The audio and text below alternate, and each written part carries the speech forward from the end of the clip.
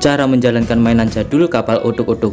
Pertama kita ambil tempat bahan bakar lalu kita beri kapas. Bila tidak punya kapas jangan nyari di kuburan. Gunakan saja tisu. Lalu masukkan ujung kapas ke lubang untuk sumbu. Semakin besar lubang maka apinya akan semakin besar juga Dan kapalnya pun akan semakin cepat jalannya. Untuk bahan bakar kita gunakan minyak goreng Dan kita tunggu minyak gorengnya sampai meresap di ujung sumbu.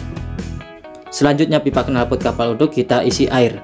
Hati-hati air jangan sampai masuk ke kapal nanti bisa tenggelam setelah itu kita nyalakan sumbunya dan kita tunggu apinya supaya membesar dulu.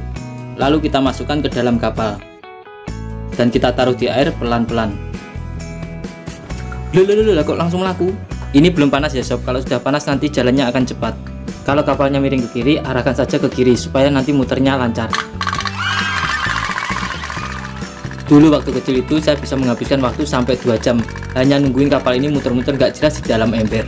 Nanti di video berikutnya kapal uduk ini akan saya bongkar karena saya penasaran seperti apa isinya dan seperti apa cara kerjanya. Siapa tahu bisa buat sendiri. Jangan lupa ya sob bantu tekan follow, like, komen, dan share.